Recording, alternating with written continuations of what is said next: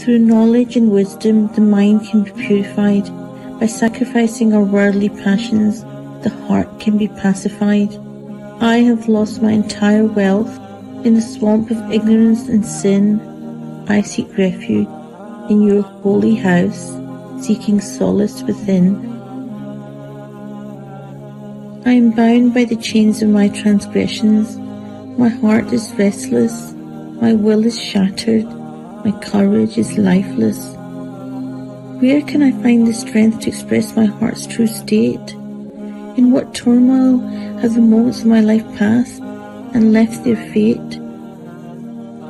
I come to you with a heart full of sorrow, with complete humility. I offer my condition for you to know I am empty handed in the court of your grace, with pure love in my heart, a treasure beyond all space.